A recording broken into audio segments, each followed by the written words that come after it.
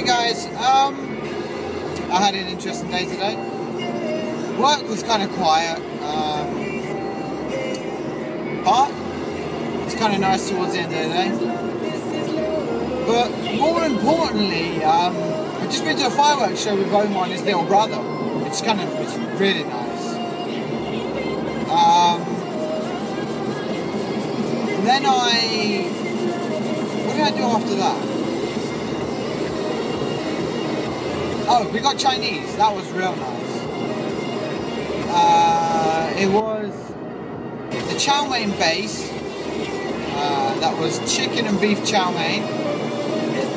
And then we had chicken and beef curry to go with it. And it was very nice. Now, continuing on from yesterday's segment, I had to go to the police station today uh, regarding all this Shannon bollocks. Um, if you go on my Facebook or my Twitter, I will try and link below the uh, the document that I got. Um, it basically just says that I'm no longer allowed to even communicate with her, and if I want to do so, I have to go through a solicitor, which I'm going to do. However, what the fucking police don't understand, and I am pissed to fuck about this, they haven't asked me my side at all, and I am suing them on this because this is not it's not funny in one bit. Um, you know, fine, Shannon was telling partly the truth, but it's not harassment. Um, but fine, she did tell me to leave her alone, and I didn't. However, the bit she probably didn't tell them is that she was also contacting me regarding some of the stuff that I was posting on my social networks. Um, now, I admit, okay, some of it I posted was fucking harsh, and I've already tried to, if not have, apologised for what I said. Um, however, like I say, they believed her straight away. There was no questions. No, it, the guy even said to me there was no evidence of what I'd done. Okay, but yet the police were still accusing me of doing that, and they don't know any of it. Okay, because it's not like they were involved in it, except from when Shannon's mother called them. Um, which this all sucks because they actually got my mom involved in this and everything, and I've had to move out. But whatever. Anyway, that's interesting. I have to move out, which is really cool because I've got to find a place to go now. So might well be in um, what's this gonna say, like the Amersham area or something, which is gonna suck because I have to be around her for fuck's sake. At the same time, it could be quite nice for me to see her. But at the same time, it would just be like fuck off. So anyway, I think this is all very difficult for the police, but they have taken action a bit too early, and I've made them aware of that on Twitter. So if I am arrested, then still fuck you, Thames Valley Police and fucking Hertfordshire Police.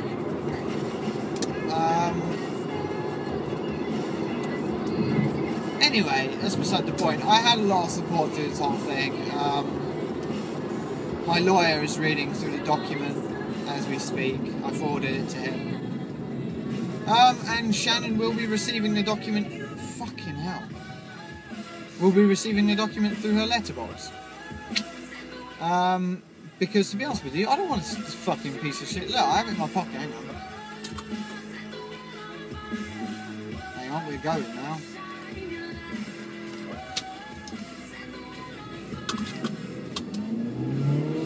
Oh, it's fucking red light. But anyway, that's the document with her name on it, if you can see that at all. It's probably back to front, but anyway, the moral of the story is okay, I don't give a fuck if that's been said, any of that on there. I still don't think it's right that her word is believed just as soon as that. And you know, it's it's not fair, but the, the fact of the matter is it's happened. It really sucks that she's had to put a restraining order. Someone believes that it's because one of my friends didn't accept her on Facebook. I don't understand any of that. And I think it's really sad. Um, but it's probably for my own good. Um, I mean, hopefully this will help our relationship. I, I don't want to lose her. I mean, some might say I've already lost her. My views are starting to look like that, but I'm hoping I haven't. Because she seriously means a lot to me, and it sucks. But is love, apparently, so. And, you know, some people say, how can you love her? Quite simply, or how can you still love her after this? Quite simply, we're both at fault here. We both weren't particularly happy about the breakup, I don't think. Um, and on the circumstances it happened, I wish that things were different, to be honest with you. I wish that that didn't even happen. But there's always a next time, and there's always a possibility that things will get better with her. I mean, in an ideal world, things will get better with her. But we all know that the ideal world is far from the real world sometimes, and that's how it happens. It's fucking dark out. Anyway. So, yeah, I mean,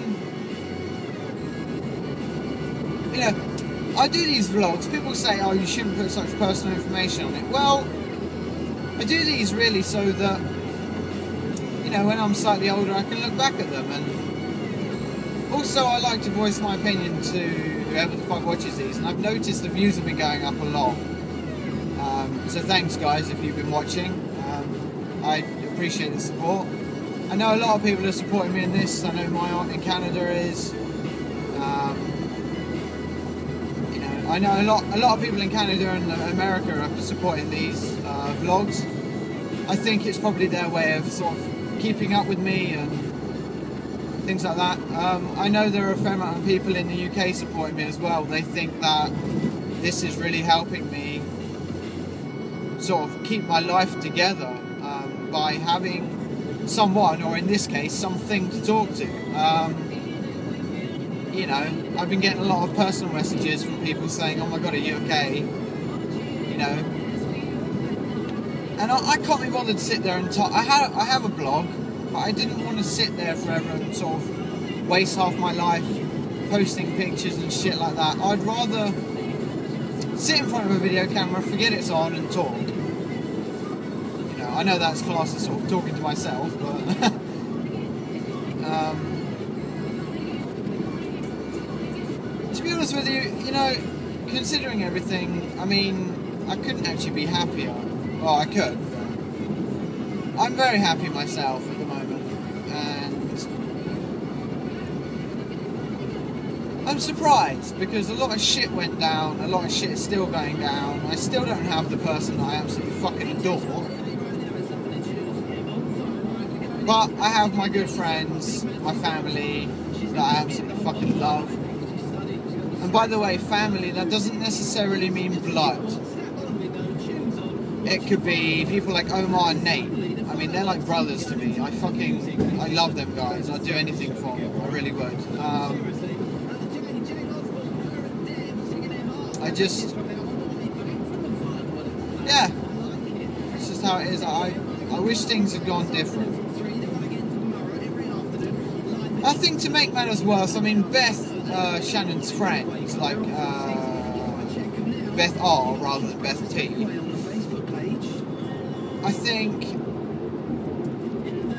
she fucking hates me. She always has. And Shannon always used to say to me, "Oh no, no, she doesn't hate you. She doesn't hate you." She's always hated me. She's always had something against me. I don't know what it is. I don't know if it's because I'm coloured and she's racist or what. I don't know.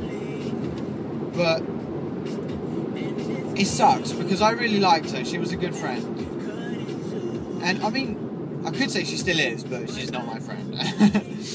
and same thing with the other Beth. I mean, those guys made me the happiest people. Happiest people? Happiest person in a long time. I mean, I absolutely adored my trips to London with those guys and randomly just going to get things to eat and driving around in car parks having my nails painted in a car park. Yes, I'm not embarrassed to say that. I actually enjoyed that. But those are all little things. I mean, it, Shannon was there for me when I really needed it. You know, I could ask her anything and she'd do it. I think a lot of people saw that she was a very shy person and she probably wasn't any good for me considering that I'm so outgoing. But a lot of people didn't see the side of her which I saw, which was just this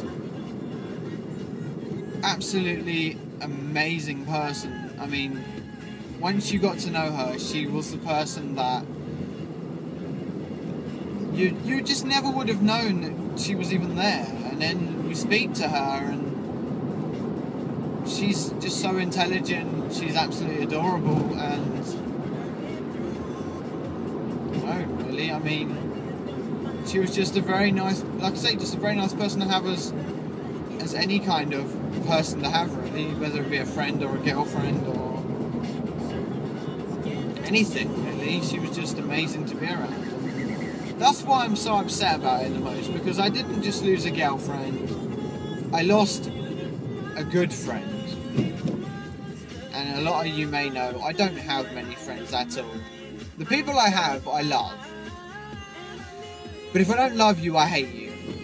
And, you know, I could go on forever and say, oh, but Shannon didn't let this happen and let that happen and all that. People need their time to. This is stuff I learned from her, by the way. People need their time to start to feel comfortable um, with people. And I'm happy to acknowledge that you know, Shannon wasn't ready to do some of the normal, whatever normal is, you know, normal stuff in a relationship. And I wish I'd realised that sooner. Because I, after we broke up, I took the piss out of it a bit. And I think deep down I probably wasn't ready either. And I mean, it sucks. Because I can't take any of that back. None of it whatsoever and I wish I could. All I can now do is just apologise and hope that this is heard by her or one of her friends, and I hope she forgives me at some point. I'm not expecting it to be now. I'm not expecting it to be in a year's time. I have no time expectation whatsoever. I'm just hoping that it happens like I say, I'm not even expecting it, so if it doesn't, fine, I don't blame you, but I really am lost without you, Shannon. I don't know why I'm talking as if like I'm talking to her on the phone or something. No, honestly, I'm lost without her. I know that over time I'll move on and it'll all be hunky dory again, and it might happen again, or I might ever, might even stay with the next person. But I hope that next person it's either her or someone like her that